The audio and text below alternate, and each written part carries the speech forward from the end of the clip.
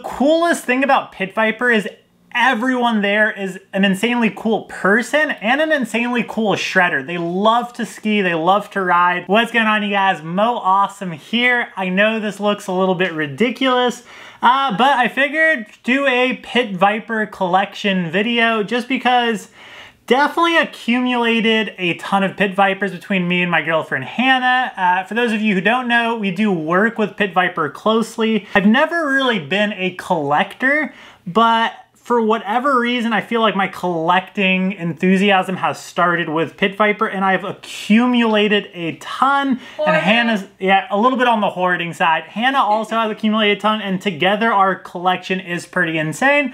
So figured we'd do a Pit Viper collection video. Also would like to do a little bit on the review side as well. I'll talk about the differences between the 2000s and the uh, originals, double wide or not double wide, and also the exciters, which I'm wearing right now. I'm also wearing their new tech hoodie, which, man, I really enjoy. It's a cool color too.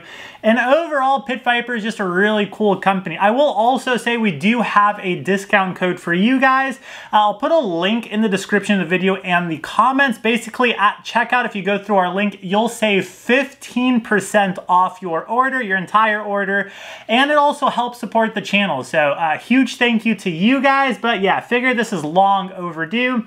I did a count and together we own uh, 52 pairs of pit vipers. And that's after giving some away. Anytime we like run into someone super cool, uh, we gave one to Randy, this really cool artist in, uh, I believe, Pittsburgh.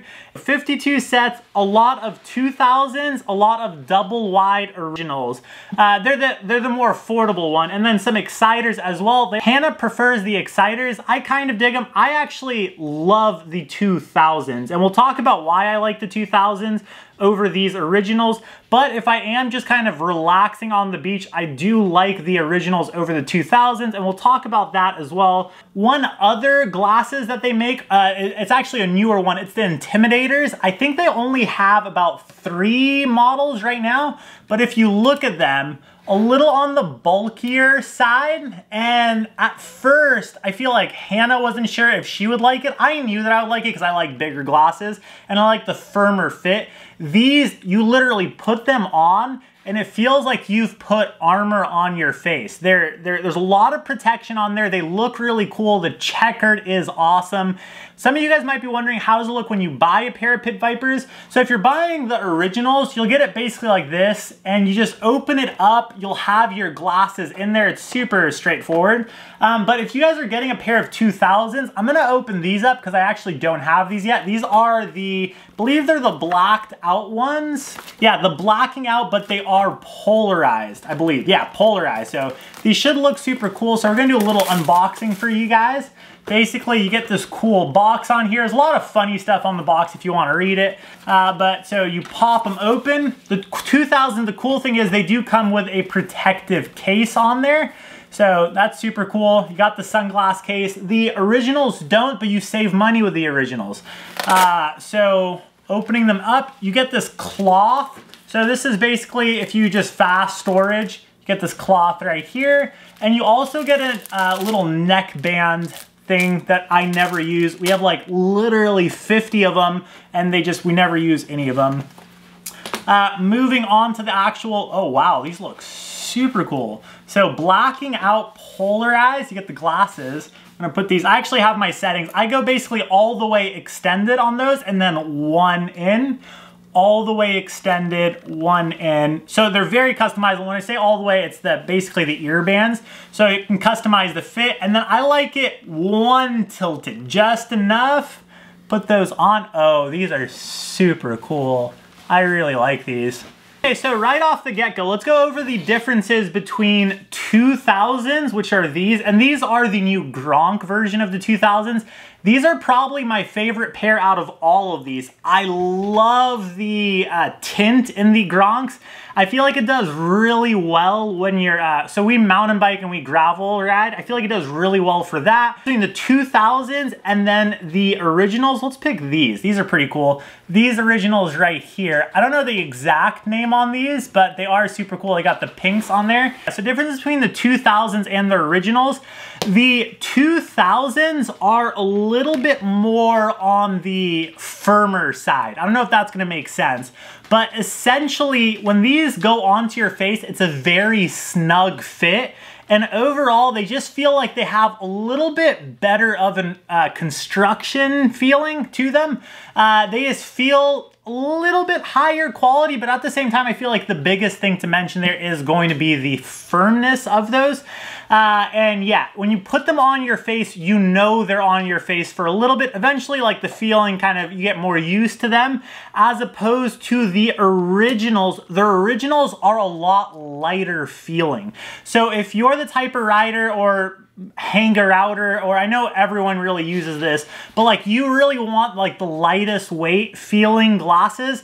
The originals are going to be your style for those where they don't necessarily have the firmest fit so say you you really want to make sure that your your glasses don't feel like they're rattling on your head too much I feel like the 2000s do a good job of that especially on the action sport side but in terms of like the hanging out relaxing the originals feel really good for that but I also, if I'm gonna go for a really long ride and I want something that kind of feels very light, I might actually opt to go with the originals on that. Double wide versus the non-double wides. Uh, so you, you'll get an option for the double wides. Double wide just means it's a little bit of a uh, bigger lens. So me personally, I guess I'll take these off really quick. I got like a, a I would say I have a significant big head. Uh, especially on the forehead side, also an ego as well, probably. But if I put these on, you guys can see they, they look pretty normal on me. And so both Hannah and I, my girlfriend, I'll put a picture of her right here. Uh, we both use double wide. So we have none of the classic fits. All, we're, running double wides exclusively on the originals. What we found is for the Groms, the Groms really like the, uh, the non-double wides. And then also if you have like a really smaller head, uh, it might benefit you to go with the non-double wides. However, for the most part, the cool thing about the double wides too is you just have more coverage there. So once again, on the action sport side or the like sun protection side. I don't know, I just huge fan of the double wides there and yeah, overall very impressed. So I actually am not entirely sure that we're allowed to show some of these exciters because they are gonna be doing a big drop in the exciters soon. They got a couple of cool new colors I feel like they sent over to us. Hopefully, we might get in trouble for showing some of this stuff. Uh, but basically those are really cool. They're like a cosmic. I wonder if you guys can see that, but uh, yeah, so a couple of new exciters coming at you guys. The cool thing with the exciters too is it it's almost like a very precise fitting uh, glass. So like literally you put these on and they feel very similar feeling to Ray-Bans.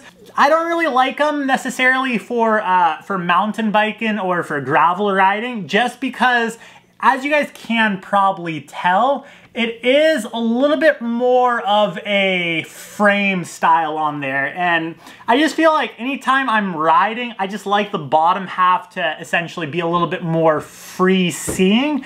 And it just kind of doesn't interfere with the trail. But yeah, overall, really stoked on some of these exciters. Moving back to the originals, because I did tell you guys there's some lenses in the originals that I like better. This is a new one from them. It's their night lens. I really hope you guys can see that. But yeah, overall, when you put these on, they're so nice for like those evening sunset rides. Special shout out to Hannah's favorite glasses. Those are the Miami Nights probably the classiest looking out of all of them.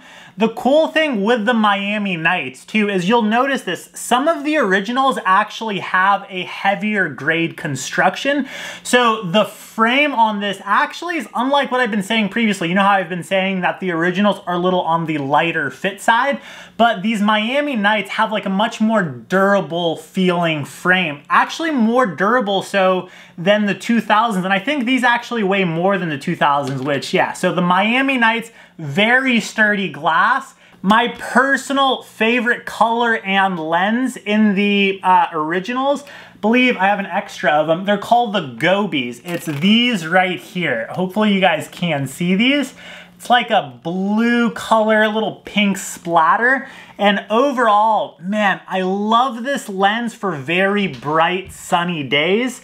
Uh, so you guys can tell it's definitely, I think these are polarized as well. Let me just make sure. Yeah, these are polarized. So they, they do offer the originals in the polarized, and I feel like these do so well when we go out and we're going for either a ride or to the beach in the sun. It's just 1 p.m., you know, when the sun is at peak, wants to just absolutely wreck you. I feel like the original polarized definitely come into play there and yeah, super impressed with these. So moving on to the Intimidators, like I said, I really do like all of the lenses in the Intimidators. Specifically, I'll give you guys the exact name. I'll put like what I'm talking about right here as I'm talking about them. I have these, they're the American ones. So the lens is actually called the Absolute Liberties and they're perfect for if you're going out for a ride and like, you know, sometimes the sun's not necessarily the brightest. You don't need that much protection, uh, but you do still need a good amount. And I feel like this is that sweet spot. And like I said, they look super cool with the American red, white, and blue. I do like a lot of the 2000s.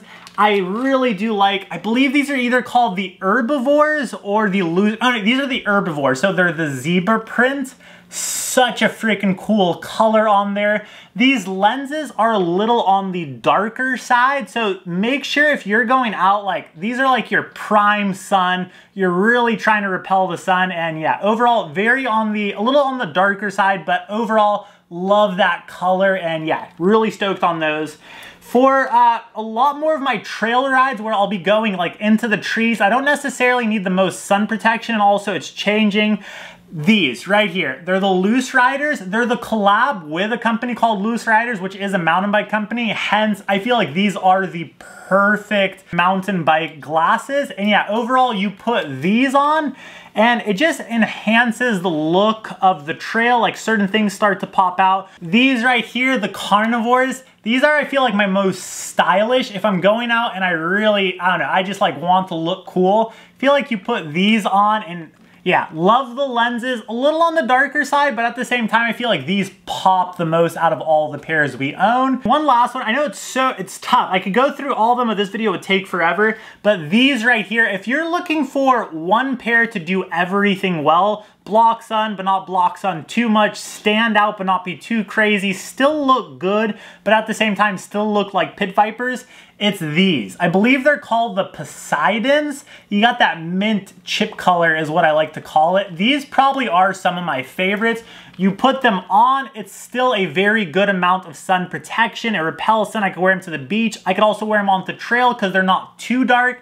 And then also they look really cool. They stand out a lot. And yeah, overall, really impressed with this model, the Poseidons. And yeah, super stoked on this. Well, there you guys have it. Hopefully you guys enjoyed this review slash showing the collection of Pit Vipers that we own. Once again, you guys, you can save 15% off by using our link in the description and help support the channel. If you like this video, definitely hit that like button. Also, consider subscribing to the channel, but yeah. And in all honesty, one of the reasons we love working with Pit Viper, we get a lot of questions about them, like how are they as a company and whatnot, not.